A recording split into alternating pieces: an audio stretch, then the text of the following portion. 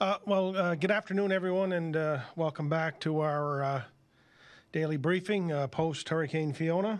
Um, today, I'm joined by uh, Tanya Mullally from EMO, Kim Griffin again from Maritime Electric, and Captain James Ryan, the, commandant, uh, the commander of the PEI Military Task Force, as we continue to make progress. And Captain Ryan, Tanya, and Kim will share that with us in a few moments with their updates.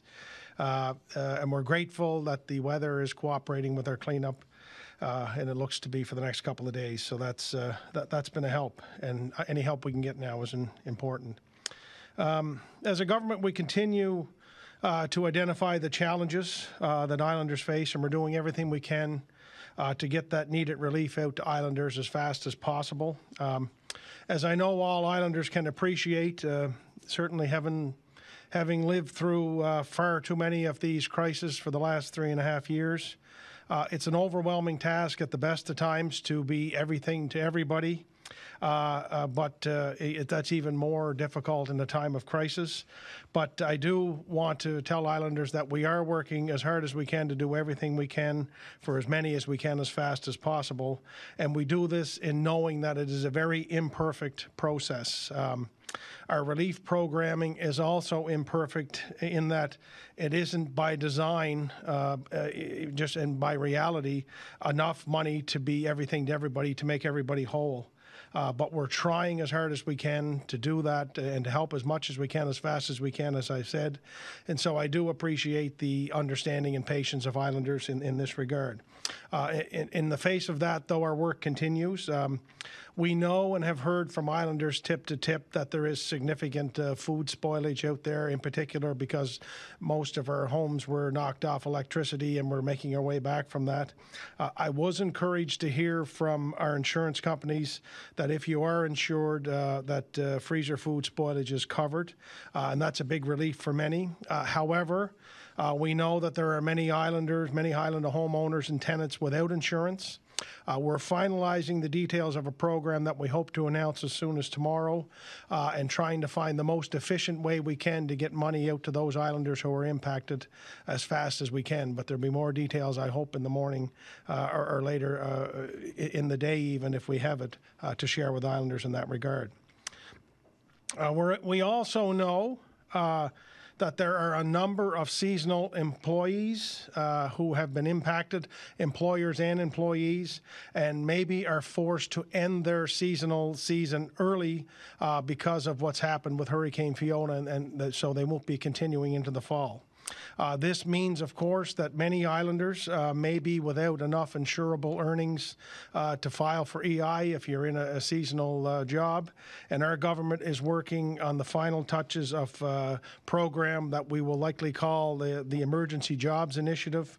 It's a program that will help island uh, businesses hire new people quickly. government will be there to, to help in a significant way to make sure that that can happen as fast as possible.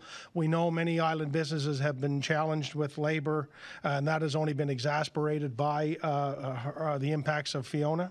So this uh, employee, uh, this emergency jobs initiative program uh, will provide funding to businesses to hire more islanders faster. And as I say, there'll be more details announced on that tomorrow. Uh, we announced the Provincial Disaster Assistance Fund, and then uh, uh, that will be uh, available uh, for islanders, uh, individuals, businesses, and municipalities for, for uninsured losses. so, for example, an uninsured loss would be for a property where a tree fell on your property that didn't hit your house or car. that would be what would be classified as an uninsured uh, issue, uh, and I know there are thousands of those across uh, Prince Edward Island. So if, if, for example, a tree fell on your property that didn't hit your house, at your primary residence, uh, that is what we would call an uninsurable loss, and that would be covered by this program. The parameters of this disaster program normally bring with them a $1,000 deductible to individuals and NGOs during Hurricane Dorian and the response to that, we established a uh, we waived the deductible for low for a low income threshold. Uh, but this time, uh, knowing that uh, that program helped many, uh, you know, in Dorian, uh, because of the extensive damage we've seen island-wide with Hurricane Fiona, this des- this deductible will, will be waived for all islanders and NGOs across the board. Uh, we know Islanders want to see the cleanup happen as fast as possible, and so do we. In the past, we have worked with municipalities to, have a coordinated approach to this, and we would look to do the same again if it's possible. And just as an example, for those who may have forgotten, during the Dorian cleanup, uh, as an example, the city of Summerside coordinated the approach for the city, for the residents, uh, and the program paid the city to do that. Uh, and it was a good, simple way to, and a fast and efficient way to get the cleanup done. So we'll continue to try to work with municipalities if we can to make it as simple as possible. Uh, in keeping with the cleanup and the recovery process, uh, it was very encouraging to hear that over 800 additional insurance adjusters licensed in Prince Edward Island are here and at work as quickly as possible to process as many claims for islanders as island businesses as possible. I have been reassured by the Insurance Bureau of Canada that they are working with their member companies to get money into the hands of those impacted as soon as a claim is started. And included in, the, in those expenses uh, could be alternative living expenses, food replacement, and other uh, areas as well. So that, that's encouraging. Uh, again, I would say to all islanders, uh, if you or someone you know is in immediate need, if you could please call 211 or call the Red Cross. I think Tanya, you'll be able to share that number uh, with with, uh, with me as well, but it'll be on our website as well, so that we can connect those individuals to a resource as quickly as possible because we want to help as quickly as we can and, and make it as efficient as we can. Uh, finally, I would say that uh, on Tuesday, Minister Blois Thompson announced money for workers across PEI who lost shifts or hours due to business closures resulting from uh, Hurricane Fiona. Uh, we said at that time that we would cover up to $25 per hour, up to $1,000 a week, uh, and uh, that's been great uptake on that program so far. And we're now expanding that criteria to support those who are self-employed and those in the what we call the gig economy who might be losing income here. So now you too are eligible for this program and can receive up to $1,000 a week. And the links to our website will be made uh, available as soon as possible. Again, I would say to Islanders, uh, uh, telling you what you already know and what, what, we've learned together. Uh, we know when we announce these programs in an emergency situation such as, such as this, uh, while we do our best to cover as many Islanders as we can, we know we don't get everybody, but we're committed to continuing that help. So in the days ahead, we will continue to try to determine who needs help the most and try to get our programs tailored to get out to Islanders as quickly as possible. But it is, a, you know, it is a difficult task uh, to identify uh, programs that will meet perfect need for 170,000 Islanders. But our cabinet, our cabinet committees, and so many workers inside of our government right now are working hard to do the best we can for all of you. So, also, just finally, before I do turn it over to Tanya, I, I did want to take a moment uh, to say a special thank you and to offer my expression of gratitude for, again, those unsung heroes, those who are in our manors, our seniors' homes, our community care facilities, throughout our healthcare uh, system across PEI, who have again gone above and beyond, go, uh, gone above and beyond the call of duty to keep our special islanders safe and cared for. And I just wanted to say again, on behalf of all islanders, thank you so much for that. It means the world, and uh, it makes PEI the best place in the world to live, work, and raise a family. So, with that, I will turn it over to you, Tanya, for an EMO update. Great, thank you, Premier. Um, Welcome, everyone. Uh, Myself as well, want to thank everyone for their patience and their continued commitment to uh, keep people safe, including uh, their families and their neighbors, uh, residents in their community all across the island. Um, Before I start, I just did want to make a a brief acknowledgement, just uh, considering what's happening currently down in the States, in the southern U- U.S. I know many islanders uh, certainly probably have friends and family uh, in Florida and the surrounding states, and certainly uh, watching the news last night, uh, Hurricane Ian as it uh, slammed into Florida as a Category 4 storm. Certainly, even with all the challenges that we're facing, I know Islanders are thinking and our thoughts are with those in Florida as well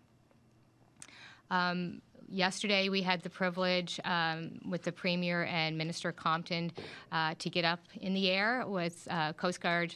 Uh, took us up for uh, a helicopter ride to survey damage uh, around the province. Um, it certainly was uh, eye-opening, uh, if unprecedented amount of damage, and it was really uh, important for us to get an eagle's eye view of what that looks like. So that will help kind of better position us to find where we need to put effort and what the resources uh, need to be in place for. I, I, know I spoke about it yesterday, but as I said, I'm probably going to say it every day. Uh, safety is our primary concern for Islanders, so we again urge uh, that people use generators, barbecues, uh, candles, all those types of things. Make sure you're using them safely, um, not indoors. Make sure they're well ventilated, not leaving candles uh, unattended.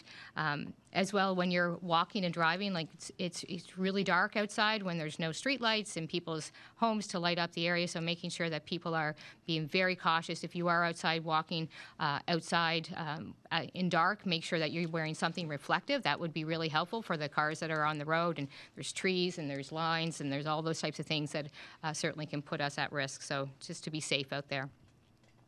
We are at EMO uh, working really closely with our municipal affairs folks to support municipal reception centers. We're providing them food as the need, um, and they identify the need into us. So we're continuing to provide that support. Um, noting that reception centers, the, we do have a list up on our website, noting that some people may not be able to uh, access that. So there's a few other ways that you could certainly get that list. You could um, listen to the radio stations, they're providing that list as well. I know 211 also has that listing, and I do believe Kim mentioned it yesterday that uh, those that contact the centers that sometimes that that's an opportunity. We don't want to flood those, so try maybe try the try the other means first, um, and then if but if you're really struggling and you need to find out where those locations are, um, that is another opportunity. One of the things that I noted this morning, I was uh, just when I was up early and I was just getting ready to come into the office, uh, just kind of browsing through social media, I was amazed at, I shouldn't be, I shouldn't be amazed, but I was um, impressed by the number of businesses that are continually offering um, use of freezers, free ice, um, coffee. What it, what, it, was just impressive to see the volume and the variety um, of Islander spirit. And, you know, again, I think to the Premier's comment is that we do live in one of the most beautiful provinces, but I think um, the people are certainly showing um, the how and what that looks like even more in the last week. Um, Red Cross, um, as noted, uh, I do have a phone number, so I will give it to you in just a second, give you a chance to get a pen and paper. But we do have a solid uh, partnership and working uh, cooperatively with them, uh, with Red Cross, in all the different communities wherever the need uh, might exist. So the number that we encourage you to call is 1 800 863 6582. And what you'll do is they'll we encourage you that you register through Red Cross. And when you do that, then they can then direct you to the right resources. They'll do a needs assessment, determine what you need uh, in, er, in order to keep you safe. So we encourage you to go that avenue. Um, they'll take care of you. They'll redirect you. They'll provide supports um, based on what your needs are. Before I hand it over to uh, Captain James Ryan, just one last statement. Uh, you know, tomorrow, uh, many people uh, will be home recognizing a provincial statutory holiday uh, as a national holiday for truth and reconciliation. I did want to share that um, our office will be still fully staffed, and I know all the response and recovery um, people that are out in the road, first responders, will still be working to continue to support and restore the island, but we will be doing that in the most respectful way. So thank you for that. Um, I'm going to pass it over to Captain James Ryan for his update. Thank you. Good afternoon. Uh, first, I'd like to say that it's an honor, um, and, and the Canadian Armed Forces are honored to be here and, and help the islanders uh, recover from uh, Hurricane Fiona. Um, since we've arrived on ground, we've been working hand in hand with the Emergency Management Office as well as Maritime Electric. Um, we're, we're, providing some flexible aid to them that we are, we're not bound by organizations and, and we can be prioritized through the Emergency Management Office of, of where we're required to provide that assistance. Uh, while we're on ground, um, I, I, would like to ask that uh, you, you, provide my soldiers some uh, some working room. Uh, we we do operate in very large vehicles that uh, not everyone might be used to seeing around. So I, I, I understand the attention draw and uh, the support we've received. Uh, people coming up to say hello is has been overwhelming, and we we're very grateful for the amount of support that we've received from the island. But uh, we, we would also uh, take safety into concern and, and just ask give us a bit of room to work and say hello, especially if you see my soldiers out and about while they're not working. Uh, very, very happy the support we've received, and they're happy to say hello. Um, my other uh, thank you I'd like to say is to the Army Reserve augmentation from the island who's come out. Uh, they answered the call. They're they're not obligated to to come on, and those are soldiers whose own homes and families uh, have been affected, but they've they've signed on to work with my task force uh, while they're on the island. There's 34 of them here, uh, working shoulder to shoulder with my soldiers and the organizations that we're supporting. So a huge out uh, thank you to those. Um, and with that, I'll turn it over to Kim from Maritime Electric. Thank you. Premier King, Tanya, Captain Ryan, and your task force team. Thank you. Good afternoon, everyone. Our crews have made progress restoring power island wide, and last night we hit a couple of milestones that I want to share with you today. With 50% of our customers restored overnight and 100% of our distribution lines going into communities energized. They have power, but that does not mean that every customer in your community has power. A little over 50% does. There are 137 crews on the road today, as well as resources with the Armed Forces and Forestry who mobilized to help us even more. And the Department of Transportation, as well as traffic controls, et cetera, more resources continue to be at Central and the East, and even more with our crews, based on the Fiona impact.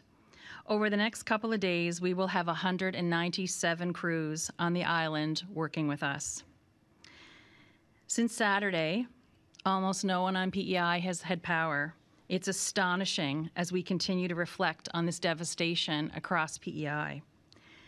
So now we have restored approximately 42,000 customers, which represents about 51% of our customers as of 30 minutes ago. That means about 70% of the West, 55% of Charlottetown, 35% of Central, and 30% of Down East has been restored. I do want to share a little more information with you about our system across PEI because I do talk about poles down, and I wanted to share with you when I speak about poles down just to give you the idea of what the magnitude that that represents. When I talk about substations, we have over 30 across Prince Edward Island. Transmission poles, we have 8,700. Distribution poles in communities all across PEI, we have nearly 180, 100 and 38,000. So when I speak of saying that 504 poles are down right now, and I think that's the final of the numbers, we've got everything now. We're concerned, but we have stock, we have inventory, and we have supplies.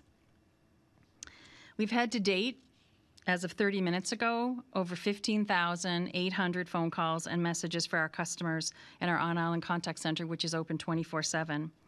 Not only do we have the information on the, on the uh, warming stations and communities on our website, but our customer service reps have that information. If you don't have access to um, a website or um, that type of technology, mobile phone, etc., get to a ground line and call us.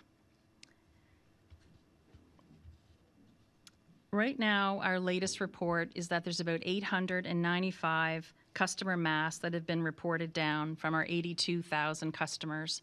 So, what that means is as we start to restore these communities, there are going to be a number of customers across PEI that are going to take even longer and they'll be into the single outages and restoring them. These broken masts, once we have our communities on, will require electricians to help you. Our customer service reps have information on that, as well as we have a detailed checklist on our website. Once we get the communities on, we will allocate tr- crews to work at your home levels when the electricians are done.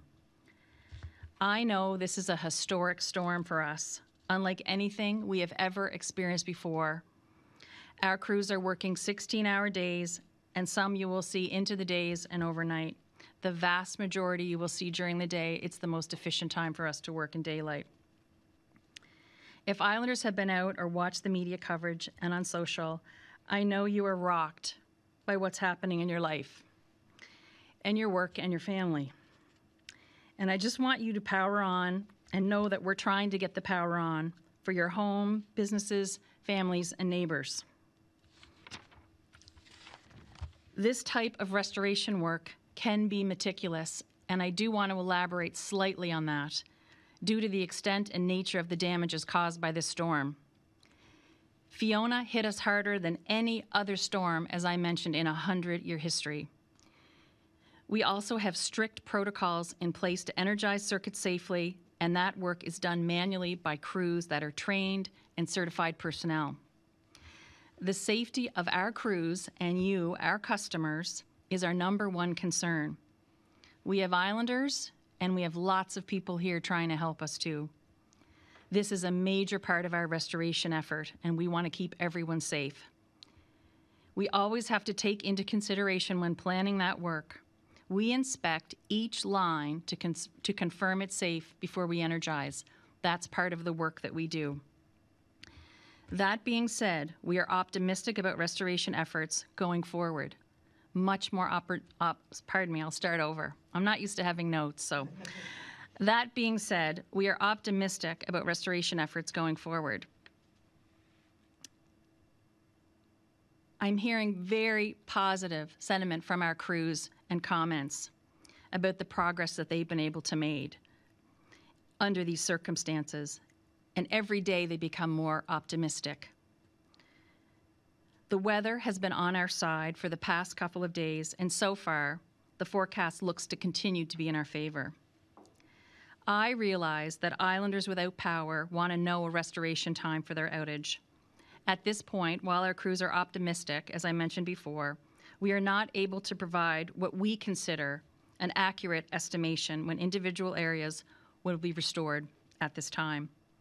We do make more progress each day, and I will provide any updates I can as we progress each day. Yesterday, as we restored over 18,000 customers, based on our work today, and it's been a good day so far, and the weather, as I said, is on our side for the next couple of days, but we are expected to be into Sunday, maybe even Monday, until we have communities restored, and not sure on individual outages at this point. You may see better systems or what you seem, you may be told are better systems. I can't really comment on that or what other provinces or utilities are doing. I don't feel comfortable giving a blanket restoration time, X numbers of days or weeks out when we haven't done our assessments. We took two days doing our assessment. Our crews, we, we combine art and science to talk about it. We've had crews that have spent dozens of years on our lines. Coupled with that and the history of PEI, they use that and the review of how long it takes to work on each part of our system. But I can tell you, some of the places that they arrived to even yesterday took two and three times longer than usual. Some places took 30 minutes. Every single situation has been different. We have a strong team on the ground and in our dispatch centers organizing the massive number of crews we are working with. As I mentioned, it is the largest storm of our history, but also the largest number of crews in our history at 137. That represents over 500 individuals working on power restoration at the field level. We are thankful for Fortis, Newfoundland Power, Fortis Alberta, and Fortis Ontario, and others who are here to help us, to help you. For safety, I want to remind Islanders to please continue exercising caution if you're out walking, driving, or clearing debris from your property. As we continue to energize the system, all downline should always be treated as energized at this point. Please stay away from downlines and report them to us. If you have an emergency, you should dial 911 right away. I want to take a moment again today to thank Premier King for inviting us here to this event to update Islanders, as well as partners, first responders, emergency crews, so many of the public service behind the scenes, trying to not only recover services through the pandemic and the health storm that we're just seeing the other side of, and now to have Fiona. I also want to thank the media who attend and ask questions daily. I know you've been doing this for a couple of days now, and I appreciate the questions being asked and for the media's help clarifying information for our customers. I understand your job and the deadlines that you are under to report the news, and I commit to giving you what I know at any given time. Things like internet and cell reception have been difficult to access not only for us but others across the province. It's getting better. But during the height of the storm, people were scared. And I know that people continue to be scared. So, the media, you were very instrumental in helping us keep Islanders informed. And I want to thank you for that. I want to thank all the Islanders who kept their battery operated radios listening in and trying to find out what was going on. People that kept their ground lines to be able to still call in and report their outages. I know that some days and most days are not good news, even though I really wish they were. Either way, my comment to the media is ask me what you need to ask me. We are making progress and so thankful for the men and women that I work with at Maritime Electric. I'm really proud of them. I also want to thank our customers for their kindness you have shown our crews and the Fiona Restoration team. We have many, many island contractors, businesses, restaurants, hotels, and suppliers helping us who've left their homes to make sure that their businesses were up and running to look after you and to look after us. And of course, all the boots on the ground, as we say at work, at Maritime Electric across all of our departments. We've asked some people to do some different jobs, and everyone has stepped up. Our contract center, as I mentioned, is open 24 7 and it will remain open 24 7 throughout our Fiona restoration efforts.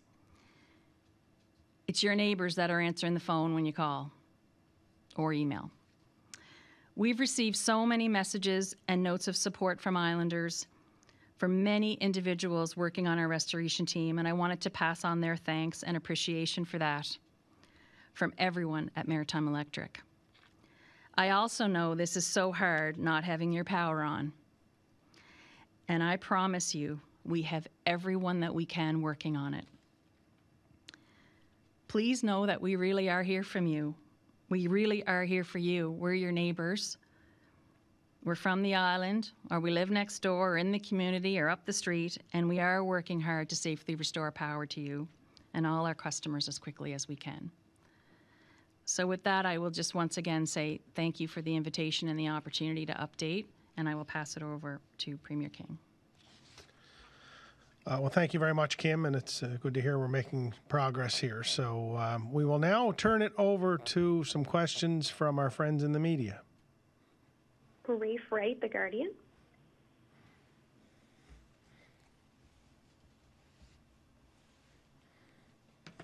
Rafe Wright, The Guardian. Hi. Sorry, I had my mute on. Uh, this is Rafe Wright here from The Guardian. Question for Premier King. Uh, we have seen and we've received a lot of questions over the last few days from people wanting to understand the state of the trails along the Prince uh, around the island. Um, just this morning, I was at the uh, Confederation Trail, and I saw people were walking around and running. So, but at the same time, there's also advisories to avoid these areas that are heavily affected with lots of trees down. So, my question is uh, to, Premier King. Uh, how long can it be before we can expect to see these trails cleaned up, and what is your advice to islanders as of right now? Uh, well, yeah, thanks for the question. I think one thing we noticed yesterday in doing the flyover was just the full extent of the damage and how uh, consistent it is across the, the country, uh, or across the province, sorry. Um, uh, in terms of uh, Confederation Trail, I mean, I would ask all islanders to be very careful.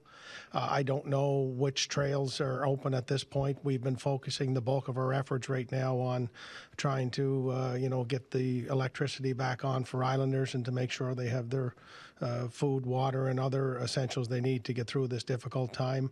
I know through the Department of Transportation and Infrastructure and, and Tourism uh, and other departments that we will start to look at assets such as that in the days ahead. I, am not sure as to uh, uh, what the situation is all across PEI. I'm sure uh, because the trails are in wooded areas. I'm sure there's extensive damage, but we've really been trying to prioritize our response to get our roads open and uh, and to try to get life back to normal. But I can get someone to get in touch with you from uh, either of those departments to let you know what the progress would be.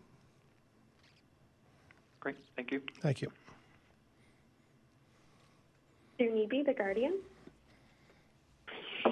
Hi, good afternoon, all. Uh, I guess uh, first question to Ms. Mullally.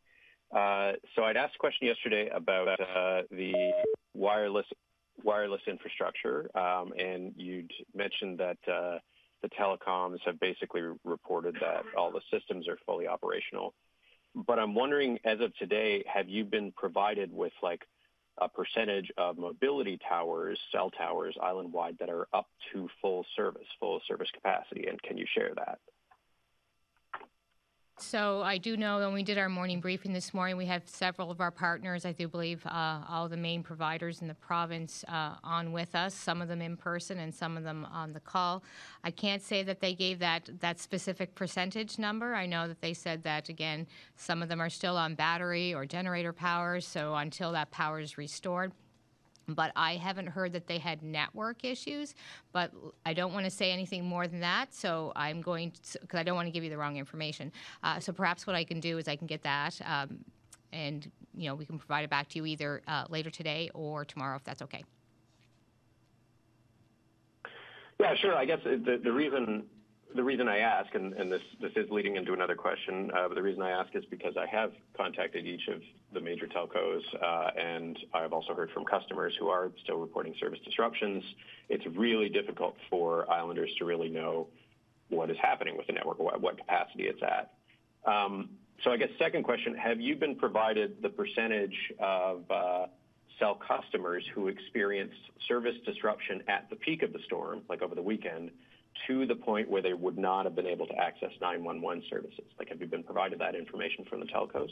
I haven't actually asked that specific question. I'll, I'll say that. Um, and I wish I was more fluent with how the 911 and cell phone towers, I do know that even um, if people from a landline can still call, um, and, and, again, I, I, know it's very technical, so, and I'm not, anyone that knows me, uh, that's not my ex- area of expertise. So, again, if I could ask if I could just take that information back and, and we can get that to you.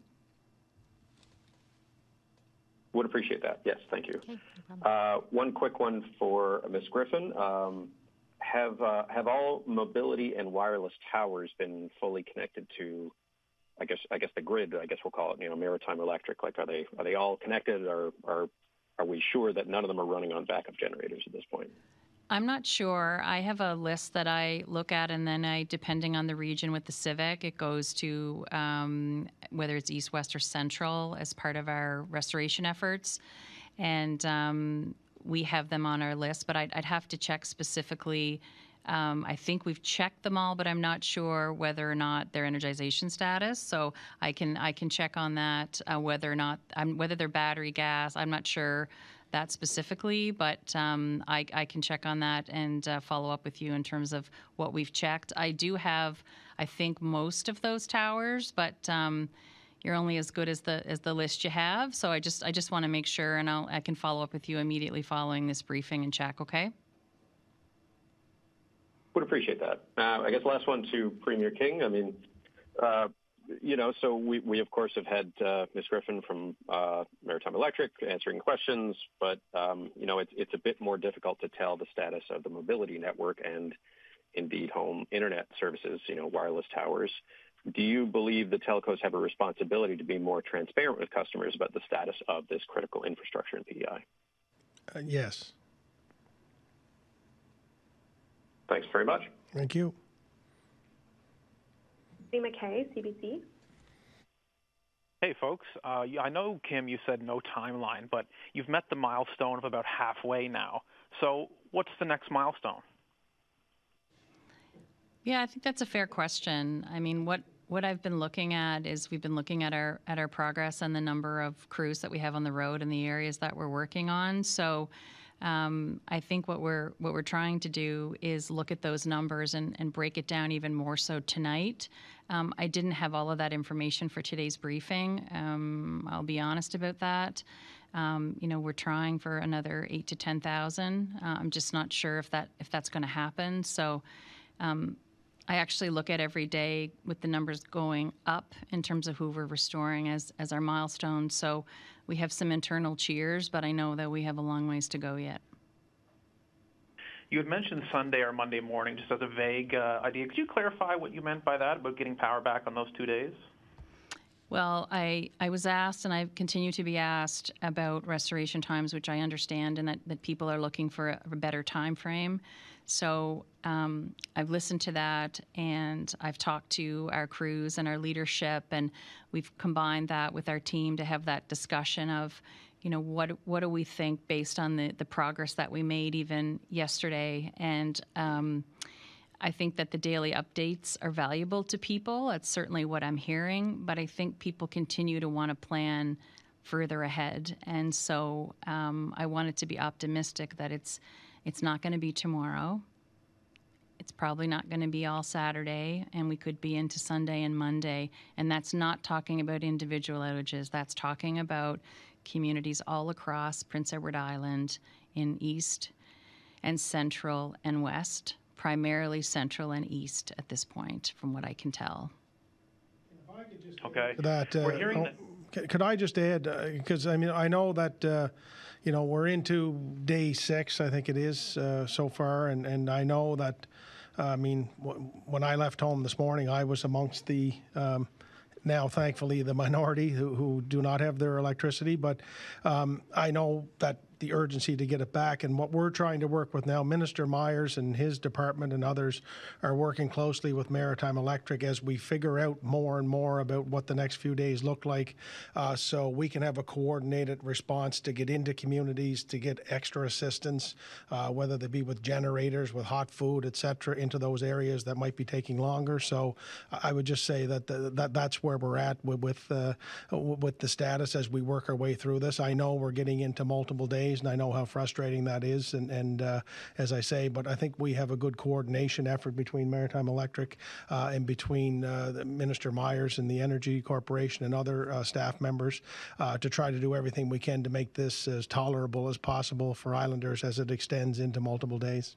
And I can confirm that, Premier, that in terms of the discussions, um, there is no shortage of people asking on restoration. As everyone knows, that's the that's the number one question. Um, but in terms of uh, both Minister Myers and the Energy Corp trying to help coordinate with us, what are those pockets? What's what's what are those areas in Central and and East? We will not only be deploying either more crews or any and all crews that way once we have the the West on any of the remaining and all the new crews. Um, we also the task force has been instrumental, particularly in the East um, and uh, today, um, but also that that whole discussion around. Um, the government is asking us those questions around what pockets and what communities do we think that we're going to be ha- be able to have on, and I assure you that I am trying to get that information. So, no uh, information on those uh, pockets or communities that may be next up to get power back. Yes, and, and as I mentioned earlier, like there's some times where our crews are getting there and they're estimating on the field this could take a couple of hours, and sometimes it turns out a little bit longer. So um, I, I was trying to mention later into the weekend so that optimistically people could perhaps understand that it won't be Friday and it might not be Saturday and it might not be Sunday so that they could try and do better planning. That that's what I'm hearing from people and I understand 100% what people are asking of us. Yeah. Two quick ones. Uh, we're hearing that the 211 line, Access PEI, or Maritime Electric lines are all dealing with huge call volumes. Any talk about adding more capacity to those lines at all?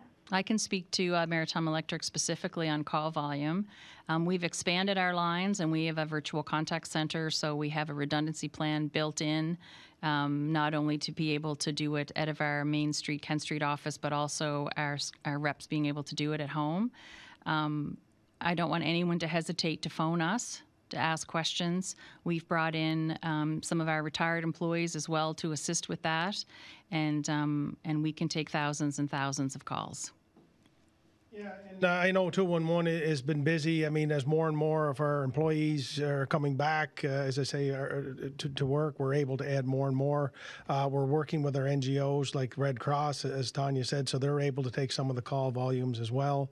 Uh, you know, we want everyone to reach out who's in need so we can uh, get out there and respond as quickly as we can. And, and so more and more resources are being added, uh, you know, by the hour and by the day. And but there is, you know, there's there's a lot of calls uh, about a lot of things. And one last one before I get out of your hair.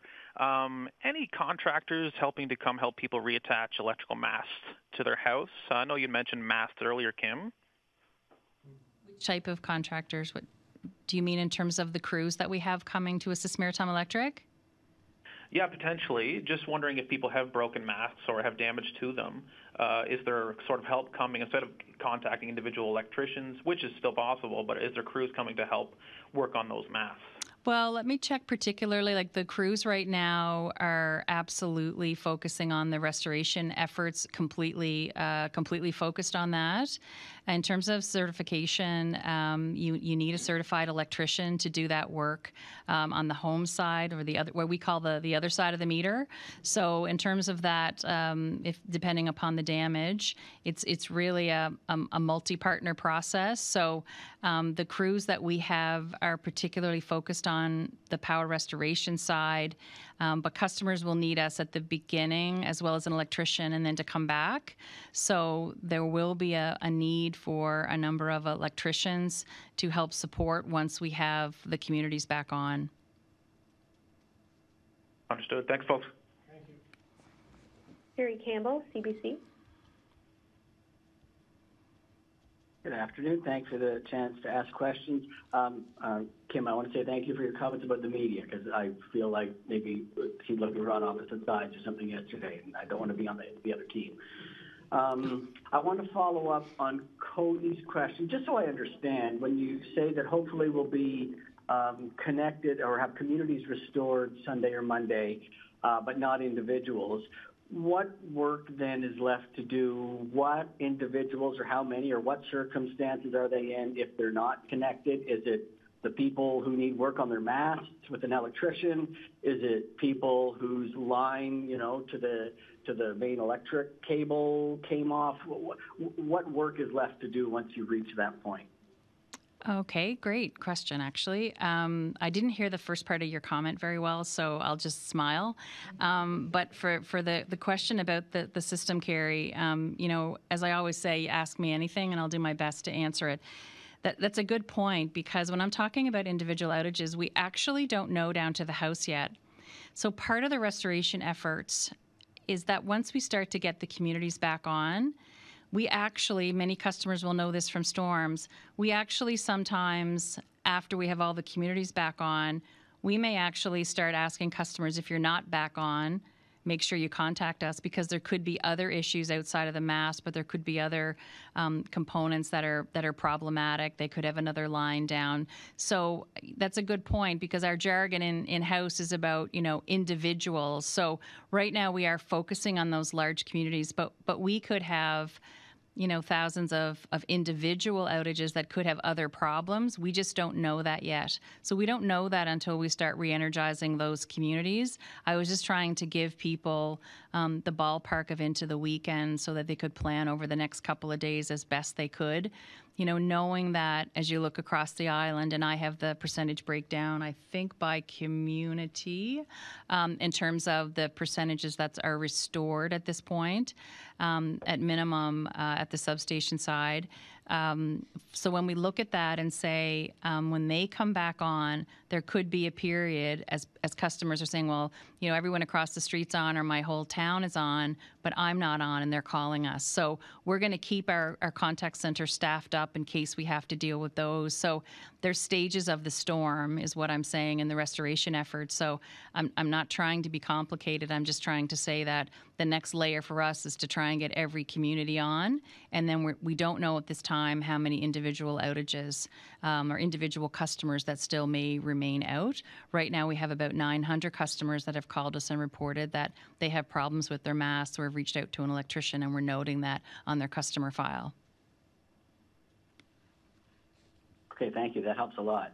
Um, I've seen a couple reports that there may have been crews based in PEI, not Maritime Electric crews. This would be with maybe one of the third party contractors that you might normally use, um, but that they went to Nova Scotia in advance of the storm.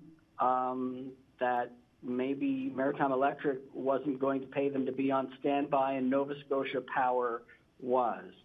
Are there crews that are from PEI that could have been available that you didn't have on standby? Anything to this effect? And is there a, I guess, a company policy that dictates what you do in a situation like this? Yes, Kerry, I'm uh, I'm aware of uh, that rumor or that comment, um, and I actually did uh, was referencing that note on social. Someone had actually shared it with me about an hour before. I apologize, I hadn't seen it before, but I, I need to look into that. Um, I, I can tell you, like, I'm not exactly sure what other utilities do. Um, there's some contractors that we refer to internally as storm chasers. Um, and there's some that they, they look around and see uh, if they can get there a week ahead and and, and maybe be, be paid around the clock, then that's maybe what some of them are doing. But but I can assure you that the the contractors that, that we have, we had no problems. I don't think we had anyone that said no to us that we called, but I can I can check into that. I mean, this is definitely our largest restoration effort, and um, we um, we we don't seem to be having problems getting crews or contractors. The challenges that we're having has been primarily around making sure that they're they're certified um, as whether they're a power line, technician, uh, power line technician, excuse me, or utility arborist if needed. So, um, but I, I, can check into that for you as well. Um, we do have a number of crews that are still coming, and and um, we haven't had many problems trying to to access them. The challenge has really just been it takes a couple of days on the assessment to make sure you know how bad the damage is and one can decide do you do you bring that many in just before a storm and hold them? If you look at teddy um, that never happened there were utilities across the country that that had a lot of crews on standby and uh, it was a pretty significant hit financially for their customers to pay for later. So um, i think it's a judgment call to be quite honest. Um, that has not been slowing our efforts down. All right thank you my next question is for the Premier. I know you mentioned that you have an announcement tomorrow on uh, uh, more support for Islanders. I'm guessing you've been hearing what I've been hearing today. Some people who feel that they've been left out from some of the funding that was announced yesterday. And then um, you, you, said what we've heard before that if people need immediate help, they could call, well, the Red Cross is one, but also 211, and that they could be connected to resources. I just maybe want a better understanding and, uh, of what resources are available for for anyone who's in that situation where they want help now, uh, you know, instead of waiting for the announcement tomorrow and for whatever the, the rollout of that is, what are the resources that are available if people can, you know, get through on 211?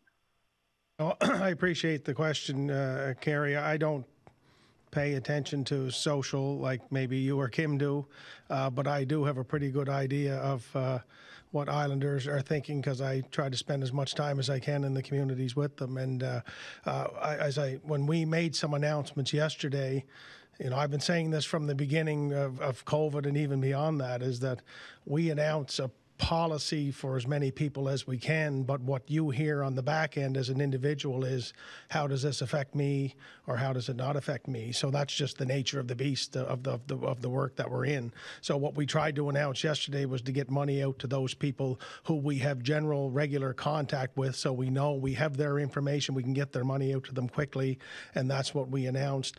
Uh, we announced money to NGOs and not-for-profits and community groups because they're on the ground as well and they know who are the most vulnerable, those who are in need, and those in, in communities who may not be part of our government roles or regular customers, but are, are, are clients, but need help right now. So that's how we're trying to get out as quickly as possible.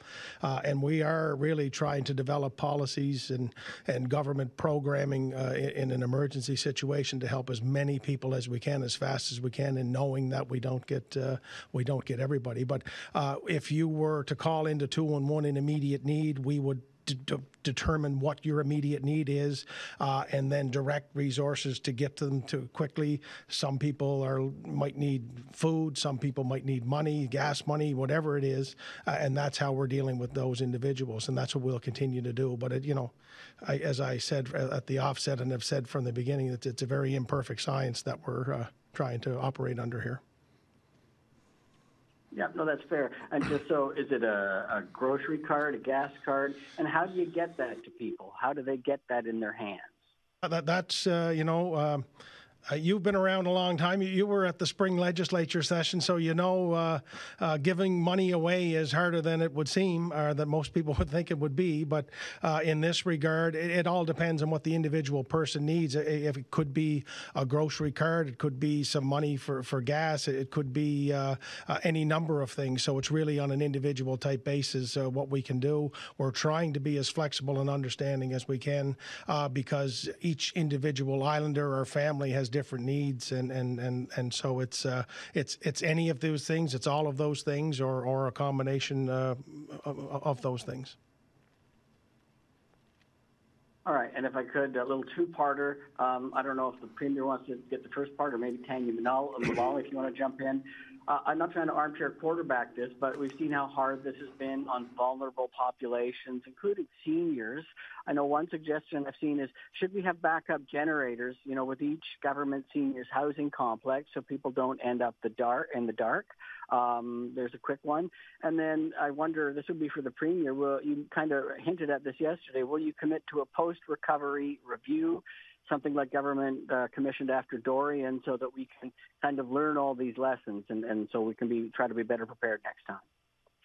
I, I appreciate those uh, questions and and uh, um, uh, I guess uh, I respect the, the. Reference to armchair quarterback, and I understand uh, where it comes from. I mean, we are really trying to uh, you know, history ticks in real time, and, and we're in real time here, uh, trying to make these decisions as fast as we can. Uh, are there things that we've learned from Fiona that we will employ better the next time? I think absolutely. Uh, will we commit to uh, doing a full review of, of our response uh, and our lead up to it to make sure we try to be better prepared next time and be maybe faster positioned to react? Absolutely.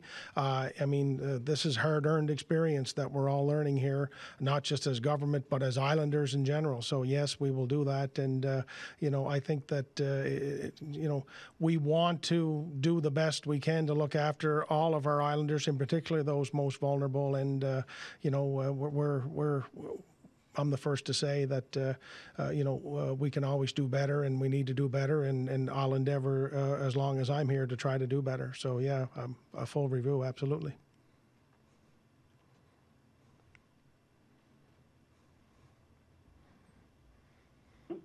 Thank you. Thank you.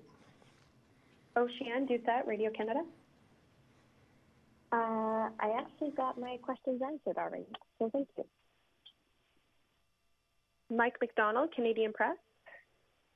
Hi, thanks for the opportunity uh, to ask some questions today. Premier King, um, earlier you were asked whether the telcos were being transparent with islanders, and you gave a very brief answer, and I want to provide you with the opportunity to expand on that, as you know, the Nova Scotia Premier um, Tim Houston was voluble yesterday, talking about how he felt telecommunications companies were not being transparent, were not being cooperative, and not being accountable. And he called on the federal government to do something about it.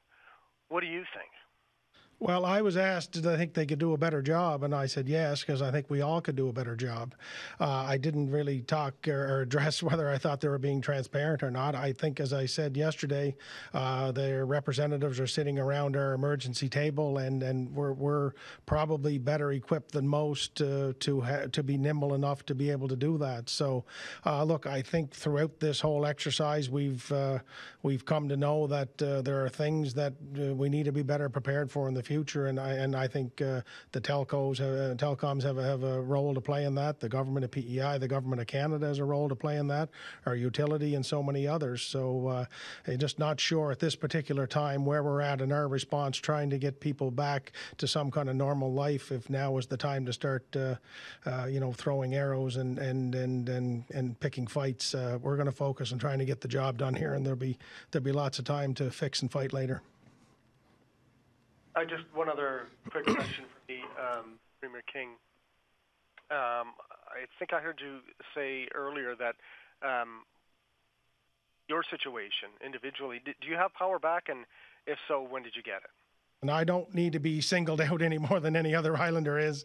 Uh, I, I was just saying that I can relate to those who are frustrated because when I left this morning, uh, uh, I, we didn't have power, but we're fortunate enough to have a generator, so we have all that we need. So I don't need anyone out there thinking that I'm trying to sympathize or, or to be any different than, or, than anybody else. I'm just trying to, for context of a question, say that I can stress the frustration. Look at my, uh, you know, look at my hair. I haven't been able to wash and, and shave to the extent that I'd like to, but, but you know, I'm I'm doing fine, and I- I'm more concerned about the rest of Prince Edward Island who are out there struggling and and trying to get through this. And I'm just trying to work with all of our partners to get through it as fast as possible. But I I appreciate you asking. Thanks very much. Thank you. Teresa Ray, Global News. Hi there. Um, my question is for uh, the Premier. Um, yesterday, I was at a provincially owned um, seniors complex, and the seniors there were um, they are stumbling around in dark hallways um, downstairs. Very dangerous situation. Nobody has gone to check on them. Nobody. They have not received any assistance. Um, why hasn't more been done or ha- been more immediate support for seniors, um, whether it's bringing them meals, whether making sure they have transportation? A lot of these people, they don't have landlines because a lot of landlines are now internet based, so they can't call 211 for immediate assistance. Why is not more being done to help seniors now? Yeah, I'm I'm not sure. Uh, no, sorry. Um, can you hear me there? Okay, we're good. Uh, uh, which uh, facility you're referring to? I, I was uh, in a meeting this morning with Minister MacKay and Minister Hudson, and, and we were talking about uh, issues such as this, and and uh, you know we're we're, we're working hard uh, to try to make sure we're dealing with everybody that we can deal with and help them to the extent we can. Uh, I, I would need to get a little bit more of a uh, detailed brief as to uh, which particular facility that we haven't visited. I, I was told by both ministers and their staffs that we have been making regular visits. So if that's conflicting information, I'd look into that a little bit more deeply. But, you know, we've been through a really difficult time here and we're, we're, we're trying our best to, to kind of recover, to rebound, and, and to make our way back. And uh, it does sadden me to hear that uh, some of those uh, individuals uh, are uh, in the situation they're in, and I hope we can fix that as soon as we can. Um, we heard today that some people may not um, be uh, restored or power may not be restored um, until Sunday or Monday, and a lot of ind- other individuals. Uh, it could take much longer than that. Um, where obviously the, de- the damage has been catastrophic to homes, businesses, and to a number of our primary industries. Why haven't you called a state of, of emergency? Well, I think this is a question we've dealt with six or seven times now. Everything that we need to do, we need to do. A state of emergency would only be needed if we're not able to do something currently under our existing legislation and we're able to do that. It's much different than in the United States or other places where a state of emergency is called early so they can have access to funds and do other things that they need to do uh, that our legislation currently allows us to do. As I've said, Teresa, from the beginning, this is an emergency. We've been dealing with it as an emergency. We have everything we need to execute uh, or to deliver on our programs, and it's just been uh, it's been uh, all hands on deck, and and that continues to be our approach. But I mean, Tanya has explained time and again what a state of emergency does, and if Tanya, if you want to take one more go at it. Sure. I guess uh, just to add, and I guess, or to restate, um, again, we've talked about this on several occasions, both uh, in advance and, and post Fiona. But um, you know, the purpose around state of emergency, as the premier said, is to uh, have the ability or the authority to do something that we don't have the power to do. The examples I often use are if we needed to evacuate, create a mandatory evacuation of a place, we would need to uh, create a state of emergency to do that. If there was price gouging, we need to do price fixing or rationing of anything. Again, we don't have legislation, so we would need to do that in order to um, to keep people safe, keep people, property, and, and the environments, um, protect all those. So, I don't know if there's any way to be make that more clear. Thank you. Uh, and and I know you mentioned um, that giving money away is harder than it appears. Um, perhaps, Premier, you could try to explain why that is, because we're hearing a lot from people who feel that there's been no immediate assistance for them. They don't know what to do. And that, you know, especially people who aren't covered by the programs that you announced so far, um, why is it that you know there there can't be more immediate help for people, whether it's money, whether it's meals, whether it's generators, um, and especially if if that's true, if it's really hard for you to find a way to get money to people, what what are you doing to perhaps consult with the federal government, which was able to roll out money very quickly to people during the pandemic? Yeah, look, uh, I, I, I really appreciate you asking that question because I'm sure when people hear that, uh, they think, it can't be possible. So, uh, government really doesn't do checks for anymore or, or, any significant check runs, for example. Uh, government doesn't deal in cash, uh, and uh, most of our tax rolls, uh, like every other province, is handled by CRA, the Canada Revenue Agency. Uh, there's also privacy issues and stuff, so it's not just as simple as um, you calling in, giving me your information, and us trying to find a way to get you a check. It, it, it is. It's just it's a very complicated, cumbersome process. While we try to give money quickly to NGOs and other groups because they have more nimbleness and more flexibility to get money out the door, uh, and they know how to get it directly into somebody's hands a little bit more efficiently than we do. Uh, the federal government, uh, you know, I think through COVID uh, was an exceptional type circumstance. I don't know, uh, based on the conversations we've had leading up to this, uh, that you know it's usually about 30 or 60 or 90 days to get CRA to do a, a run, a special run. Uh, it's, it's something that we continue uh, to contemplate whether or not we can ask for something a little faster than that, but it, it, it it's more difficult than that. So, uh, you know, generators are food, that is easy. I mean, we can get those things a little bit more quickly than others, but I mean, getting straight hard money into somebody's bank account or getting a check into their hands or something like that, it's just, it's, it's, it, it's complicated. So that's why we're trying to work around all the factors that we're working around and trying to find uh, creative ways to, to, do this and to get it quickly into the hands of those who need it the most. So I'm, sorry for the long roundabout answer, but that that's what we've been trying to do, and it's uh, uh, it's it's uh, it's a it's a frustration for everybody. Thank you. You. Joey Black here.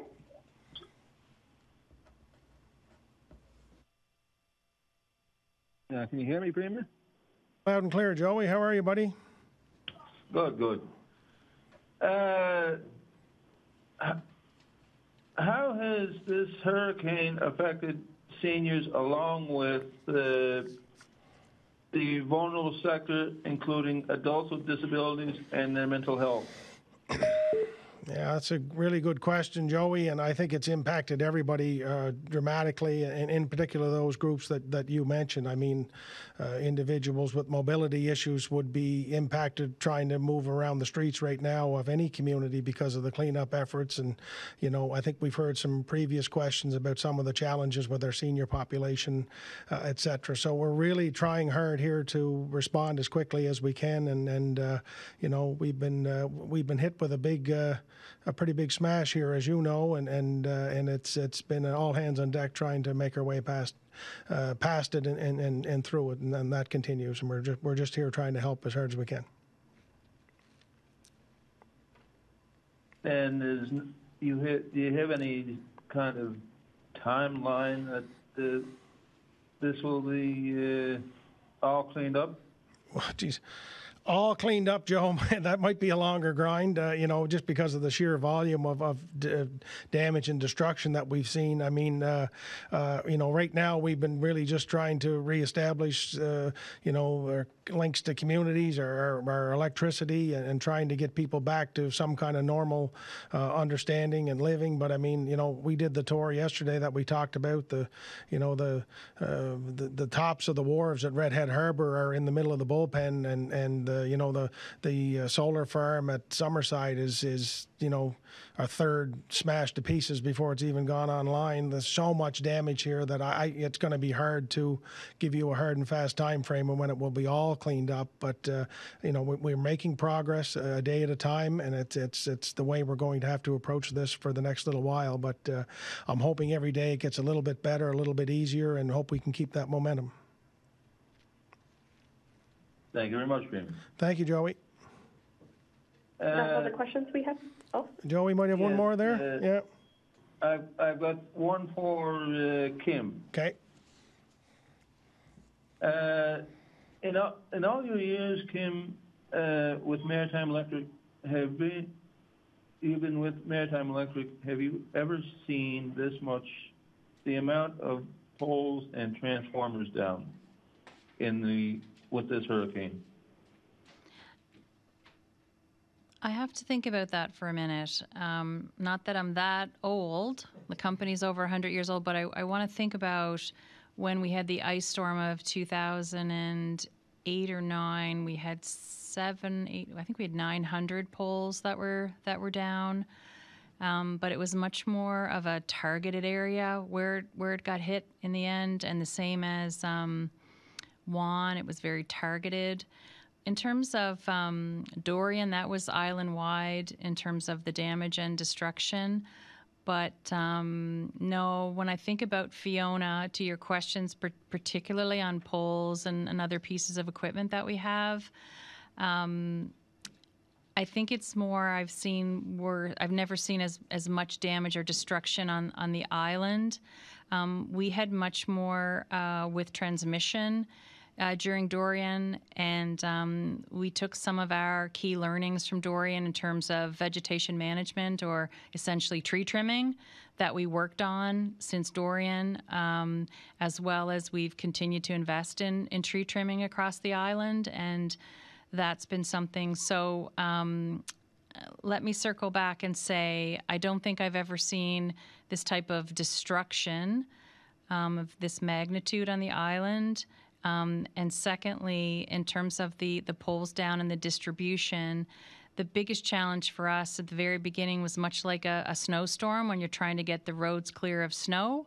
We're now trying to get the roads clear of trees and debris. So, um, but I think all in all, I, I think our net net, as I say sometimes, I, I think it's been the worst that I've ever seen in my history at Maritime Electric. Thank you very much, Kim. You're welcome. Uh, one for Oh. Tanya, maybe, not, if I can. Absolutely. Uh, When planning for any kind of emergency and how much prep work uh, went into the, into this, and did you ever expect this much devastation? So that's a wonderful question. I guess uh, for those that don't know what EMO does, that that's what we do every day in advance of an, any event is we, pr- we prepare. We have four stages of emergency management that we speak to is mitigation, preparedness, then response and recovery. Um, we would prefer to say that we spend very little time in response and recovery, but in the last few years, it's been not quite that. Um, we like to say that we spend most of our time in preparedness. So we're constantly working with all those stakeholders that are around our table today, um, and we're preparing, we're planning, we're thinking, we're exercising, we're training. Um, that is what we do every single day have I ever would I have ever thought that we had seen would see this much devastation? I would say no. Um, but I think if we go roll back the, the calendar a couple of years, we could say, um, you know, pre March 2019 seems like a long time ago. Um, would anybody have thought that we would be um, participating in a global pandemic? So we try to always plan for the worst, hope for the best. I think that was one of the first words we spoke of. But um, I think what what we experienced, what we think might be our worst, and hope is our worst. And I think, um, but we plan for it every day. The challenge for us is that we can't plan for every scenario. To Premier's comment, we can't create uh, means to do some of the delivery of programs. Um, in, to its completeness. We can think about it, but we can actually implement it. So we, planning and preparing uh, is uh, is very complex and, and takes a lot of time as well. Thank you very much. Thanks, Yeah. Joey. Uh, Can we wrap her up, Joe? I, I gonna have to go to the bathroom, Joe. Can we wrap her up here pretty soon, or well, we've been yeah, on here for an hour and a half? Huh? Uh, Captain Ryan. Uh, what challenges have you had in, in cleaning up along with power lines, poles, when they are, when they come down? Uh, well, that is challenging, and, as Kim mentioned, you needed to have specialized training to work in and around the power lines. Uh, not a lot of my soldiers are, are trained to work along the power lines, so that's why we're working hand in hand with uh, Maritime Electric. So they can they can do the work in and around the power lines, and then we can assist them both directly on the site, but also indirectly by opening up uh, additional roads for them to to bypass and get around to the areas that need to get to, or or, or get on power lines from the opposite direction. Um, so that's a challenge in itself. Um, a, a big part of my challenge is is having our soldiers uh, stay on task and get where they are. They're they want to help everyone and, and do everything that they can for everyone around the province, and and we're prioritizing our efforts in accordance with uh, the Emergency Management Office, uh, working hand in hand with Maritime Electric. But uh, my soldiers just they want to help. They're eager to help, and they're they're dying to help everyone around here. So that's my challenge is, is keeping them on task, keeping them from straying away, keeping them from cleaning up everyone's personal yard because that's they want to help everyone and, and possibly if they can. So that's that's my biggest challenge right now. Thank you very much, Captain. Well, thank you very much, uh, everyone. Thank you, uh, Kim, Captain Ryan, uh, Tanya. Thank you very much. And uh, Islanders, we'll be back in touch again tomorrow. So thank you.